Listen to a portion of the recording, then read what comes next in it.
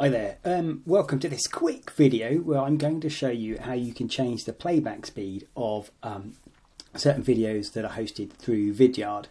I personally find this useful um, when I'm trying to watch Salesforce videos um, just because they don't give us the option um, down in the uh, option setting here to change the playback right. Hello speed. everyone and Oh. welcome um, which is a bit annoying as you can see. I've only got a quality thing in here. Um, the way you can do this is if you press F12 on the window to bring up the um, developer tools uh, and with the elements tab highlighted here click on this uh, button over here. It says select an element in the page to inspect it. You can select the um, select the video area and then if you just scroll up you should find an iframe tag which is the one we want.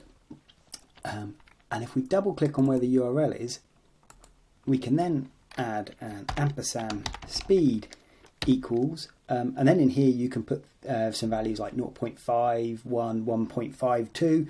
Um, so I'm going to put it at 1.5 playback. Uh, no, let's put it to 2 so we can, we can show you that it works. And if I press return here, um, and then I can press F12 to close my window again. When I now play the video, you should hear it at double speed.